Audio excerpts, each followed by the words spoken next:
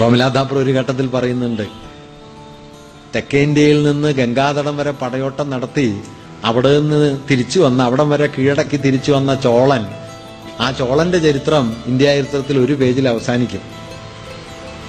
അതേസമയം ചാലൂക്യന്മാർ അല്ലെങ്കിൽ മറ്റേ ഗംഗാതടങ്ങളിലെ ആര്യന്മാരുടെ വരവ് കുടിയേറ്റം ഇതൊക്കെ എത്ര എഴുതിയാലും തീരേനില്ല എല്ലാ ഘട്ടത്തിലും ഈ പ്രശ്നമുണ്ട് കേട്ടോ. ഈ ഇന്ത്യ എന്ന് നമ്മൾ പൊതുവെ പറയുമെങ്കിലും ആരുടെ ഇന്ത്യയാണ്?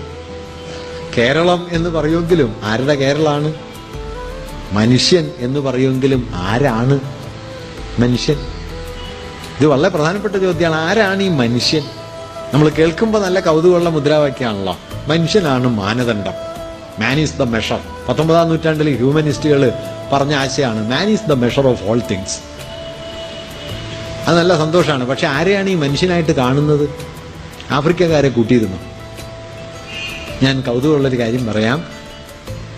പതിനെട്ടാം നൂറ്റാണ്ട് ഒടുവിലും പത്തൊമ്പതാം നൂറ്റാണ്ട് ആദ്യവുമായിട്ട് ജ്ഞാനോദയം എന്താണെന്ന് വിശദീകരിച്ചൊരു മഹാചിന്തകനുണ്ട്. Immanuel Kant what is enlightenment എന്നത് അദ്ദേഹത്തിന്റെ പുസ്തകമാണ്. പ്രബന്ധമാണ് ചെറിയൊരു പ്രബന്ധം. അതിലാണ് എന്താണ് ജ്ഞാനോദയം? അദ്ദേഹം പറയുന്നുണ്ട് മനുഷ്യന്റെ യുക്തിബോധത്തിന്റെ നിരങ്കുശമായ തടസ്സങ്ങളില്ലാത്ത വിനിയോഗമാണ് ജ്ഞാനോദയം. മതമോ ജാതിയോ പൗരോഹിത്യമോ അധികാരമോ ഇതൊന്നും മനുഷ്യന്റെ യുക്തിയെ തടയാത്ത മനുഷ്യയുക്തിയുടെ നിരങ്കുശമായ വിനിയോഗമാണ് ജ്ഞാനോദയം.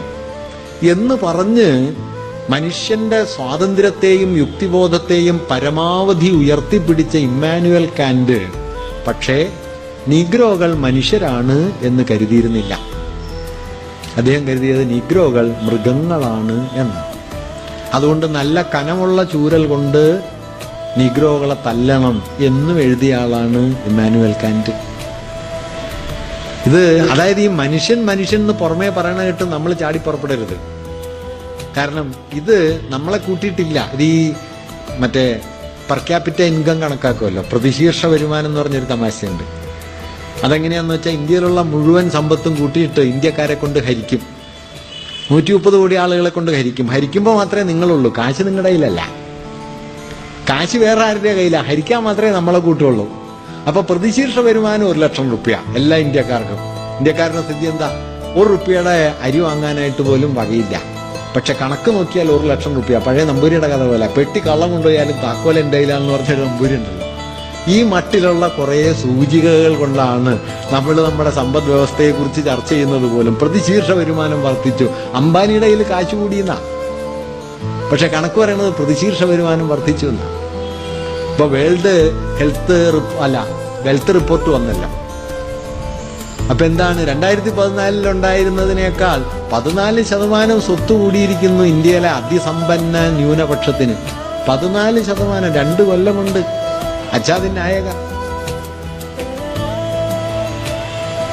ഇങ്ങനെ കൂടിയിരിക്കുന്നു. പക്ഷേ കണക്കെടുക്കുമ്പോൾ എന്ത് വരും?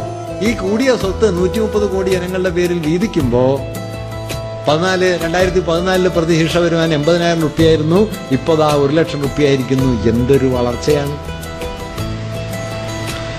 നമ്മൾ പണ്ട് സായിനാഥ് പറയുന്ന പി സായിനാഥ് ഉണ്ടല്ലോ. അദ്ദേഹം പറയുന്നുണ്ട് ഈ സുനാമി വന്ന് പതിനായിരക്കണക്കിന് ആളുകൾ കൊല ചെയ്യപ്പെട്ടിട്ട് ബോംബെ സ്റ്റോക്ക് എക്സ്ചേഞ്ചിൽ ഓഹരികളുടെ വില ഒരു പോയിന്റ് പോലും താണില്ല. മുകേഷ് അംബാനി അനിൽ അംബാനിയും തമ്മിൽ പിണങ്ങി പിരിഞ്ഞ അന്ന് മുന്നൂറ് പോയിന്റ് താണു.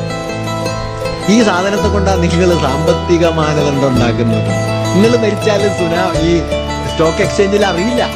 നിങ്ങൾ മരിച്ചാലല്ല മഹാഭൂരിപക്ഷം പേര് മരിച്ചാലും തൊണ്ണൂറ്റഞ്ച് ശതമാനം പേര് മരിച്ചാലും ബോംബെ സ്റ്റോക്ക് എക്സ്ചേഞ്ചിനൊന്നും സംഭവിക്കില്ല ഇങ്ങനെ ഒരു മാനദണ്ഡം കൊണ്ട് നമ്മുടെ സമൂഹത്തിന്റെ പുരോഗതി അളന്നാൽ പിന്നെ എങ്ങനെ നമ്മൾ പുരോഗമിക്കും?